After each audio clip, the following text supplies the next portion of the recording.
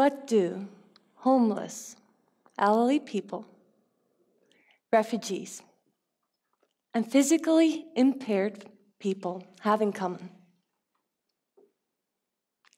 Uh, they're all humans, right? Good.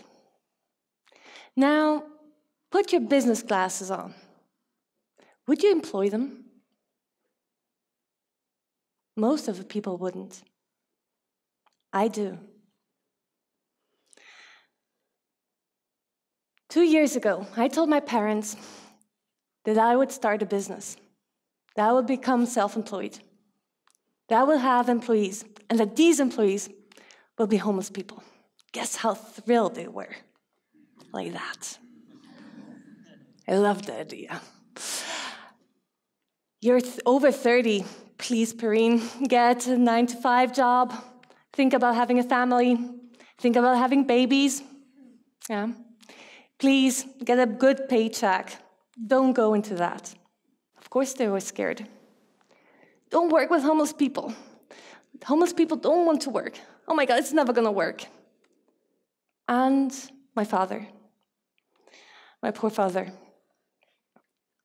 he said, Oh my God, Perrine, you studied, you had a career, and now you're going to spend your afternoons in a homeless shelter? Honestly, dying. No. So, yes, they were scared, they were frightened, they were, fear, they were feared that I would fail. But actually, now I can prove them better. I proved them that it works. My name is Perrine, and I'm 33 years old. I'm a social entrepreneur. So, for those who are not familiar with that term, a social entrepreneur is a person that uses business economics to tackle a social, cultural, or environmental challenge. Refugees, homeless, elderly people, physically impaired people. They're all a bunch of worthless people. And it's true. It's true because we make them worthless. And that's a pattern. That's a pattern within our society. Think of it. Think of it that we don't focus on their strength, we focus on their weaknesses. And that's a pattern of our society. Think of times when we were in school where we had to learn twice as hard to study those topics that we were actually bad at.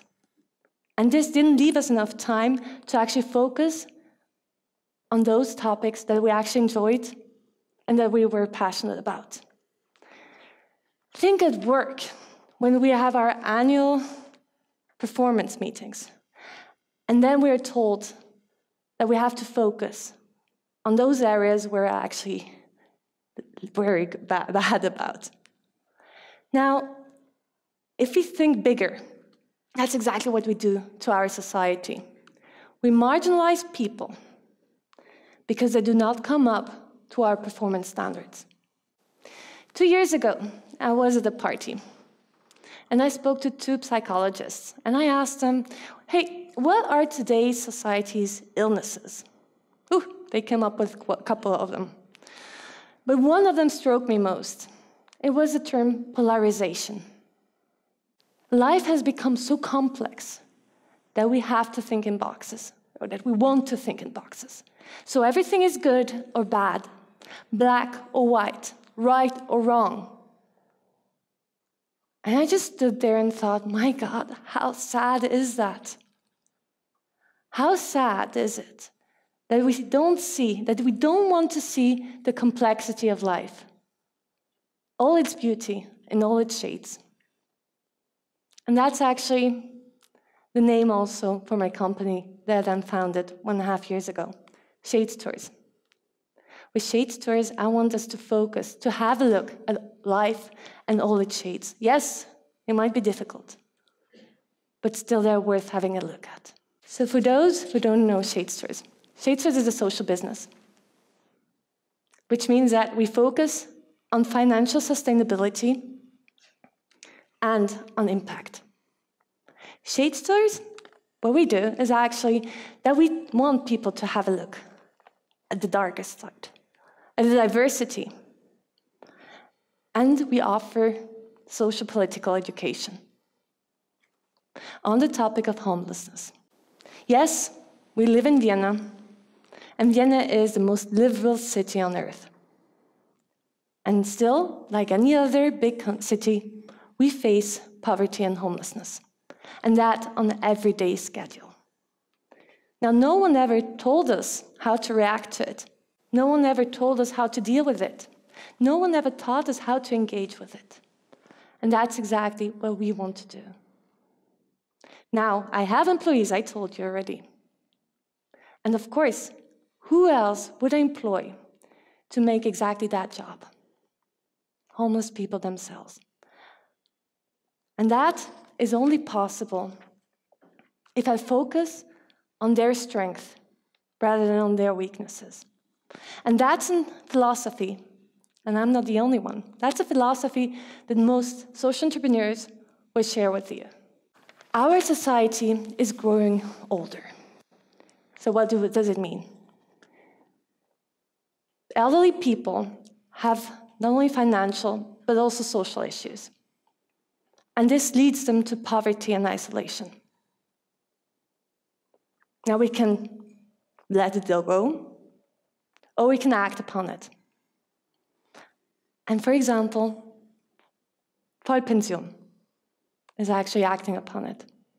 Where 20 grandmas are doing what they know best, where we share their wisdom, where they share their recipes and they bake cakes.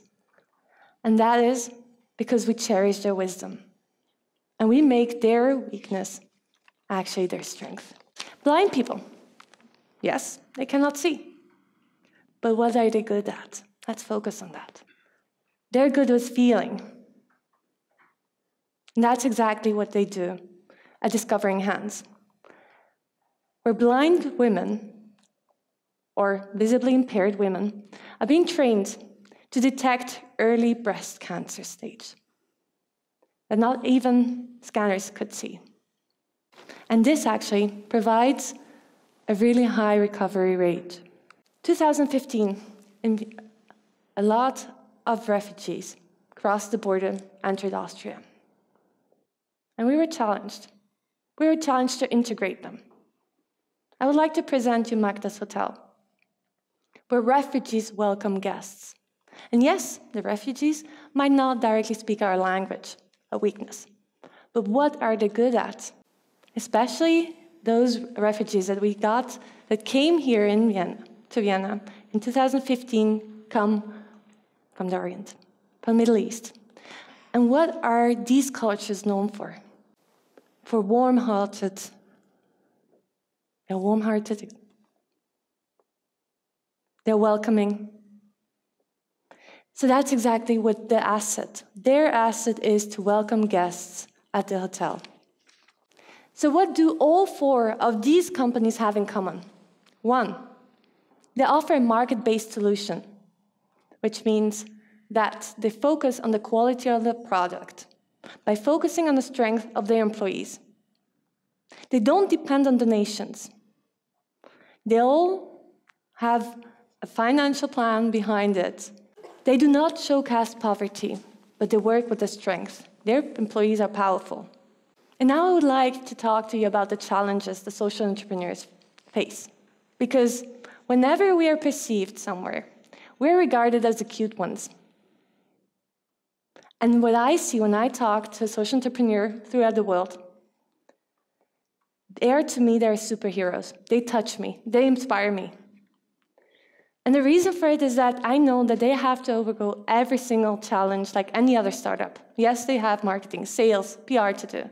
But in addition, they have the social and emotional component that they have to deal with. For you a little bit to understand it, let me give you a little example from my life. So last year when I started working with homeless people, do you think that that is always easy? No. The first year, I was in constant pain.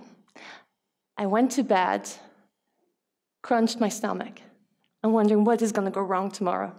Are they going to show up? Are they going to be motivated? Are they going to call me at 8 o'clock in the morning to tell me that they have been attacked either in a shelter or outside? And that I'm now actually in the hospital telling me that I can't make it to work today. We are seen as the cute ones because we have the reputation of being tree huggers. And although what we actually do is that we make society think and engage, want to engage them. We're not the techies.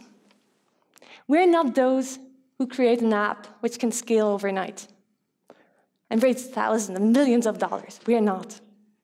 And that makes us look weak. That we are not a very sexy investment opportunity.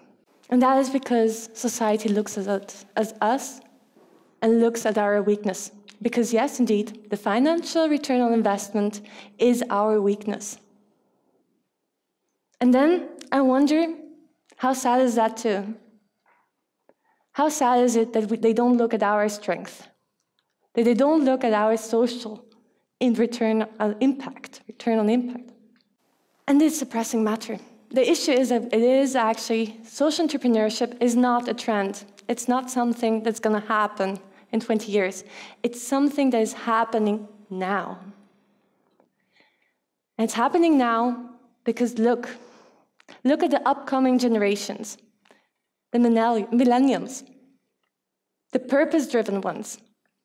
There are going to be much more social entrepreneurs rising up. And all of them will have the same issues. The same issue namely that they won't be able to get any investment. My call to action for you have a look at your strength. Have a look at how you want to use your resources. Do you want to volunteer? Do you want to engage? Do you want to become a social entrepreneur? Do you want to become an impact investor, even? Or do you perhaps just want to go to your bank and talk to the manager and say, you know what, I'll be interested in having a look at the social impact investment possibilities? Because you can create the demand for it. It might change actually how business is done today. So, in that sense, please use your strength and enlighten, engage not only today, but for the rest of your lives. Thank you.